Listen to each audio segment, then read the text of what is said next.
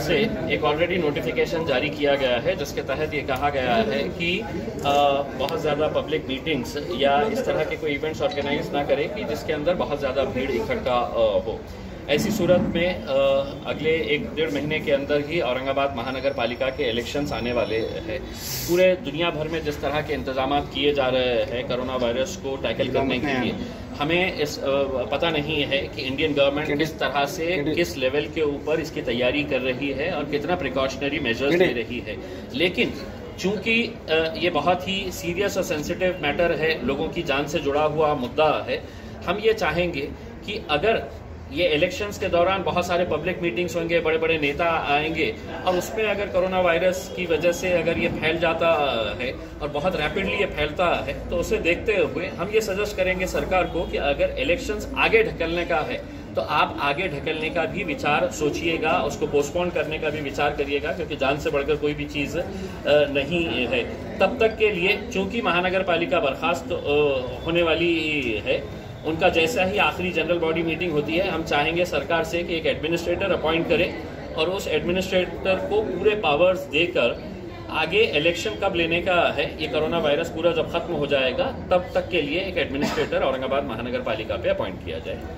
ठाकरे स्मारक आणि मुंडे स्मारकावर आक्षेप घेतला. कोर्टात खरं जाणार कोर्टात मी जाण्याचा पहिलेही निर्णय घेतला होता. जेव्हा मी हे क्रांती चौकच्या टू हंड्रेड बेडच्या हॉस्पिटलच्या वेळी आम्ही गेलो होतो. त्यामध्ये मी त्याचं वर्णन केलं होतं की आपण कोट्यवधी रुपये याच्यावर खर्च करत आहे. पण आज दुर्दैवी गोष्ट हे आहे की औरंगाबाद सारख्या इतक्या मोठ्या घाटी हॉस्पिटलमध्ये साधा पॅरासिटामॉल मिळत नाही.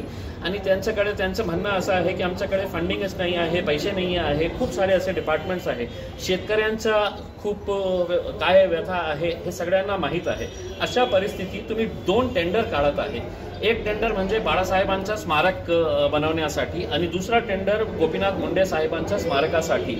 आणि कोट्यवधी रुपये त्याच्यावरचे ते खर्च करणार आहे.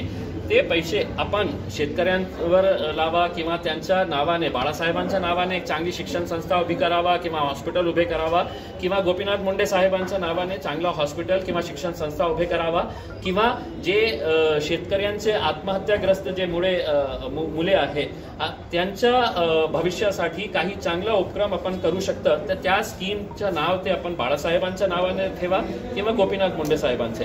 ते नाही केलं तर नक्की आम्ही आम्हीच्या वकिलांना सांगितलेले आहे त्याचे सगळे डिटेल्स इकट्ठा करून आपण कोर्टात जाऊ आणि कोर्टाला सांगू की मतलब हे सरकारचे पैसे जे आहे ते सरकारचे पैसे अशा उपक्रमासाठी नाही आहे. मी आजही हे सांगतो की शिवसैनिकांना असं वाटत असेल की आमचे नेते होते तर तुम्ही स्वतः पैसे इकट्ठा करा. खूप लोक मोठे झालेले आहे. मुंडे साहेबांनी खूप लोकांना मोठे केलेले आहे. औरंगाबादमध्येच तुम्ही बघितलं तर कोट्यवधी रुपये लोकांनी कमवलेले आहे मुंडे साहेबांच्या नावाने. आणि बाळासाहेबांच्या नावाने किती एक पुढारी असे आहे की जे कोट्यवधी रुपयांचे मालक झालेले आहे. ते त्यांनी पैसा इकट्ठा करावा. त्यांना वाटत असेल तर आम्ही पण काही कॉन्ट्रीब्यूट करू. त्यांनी आम्हाला मागितलं तर आम्ही पण देऊ. पण स्वतःचा पैसा इकट्ठा करा. स्वतःची जमीन खरेदी करा. आणि जितकं मोठं स्मारक बांधायचे आहे ते बांधा. सरकारची जी जबाबदारी आहे ते इन्फ्रास्ट्रक्चर डेव्हलपमेंट हेल्थ एज्युकेशन हे बेसिक फॅसिलिटीजसाठी असतं. त्याचा दुरुपयोग होऊ नये हेच आम्हाला सांगायचे आहे. याचा अर्थ हे नाही आहे की मी राजनैतिक हे एक ह्युमॅनिटेरियन पॉईंट ऑफ व्ह्यू मध्ये हे बोलत आहे की कारण मी दररोज माणुसकीच्या दृष्टीने जेव्हा मी हॉस्पिटलमध्ये जातो तर लोकांची व्यथा काय आहे हे बघून मी हे सांगतो आहे. त्याचा राजनैतिक अर्थ किंवा राजनैतिक फायदासाठी आम्ही करत नाही. मी पहिल्यापासून हे मुद्द्यावर ठाम आहे आणि पुढेही राहणार. सर करोनाच्या बाबतीत तुम्ही आता उदाहरण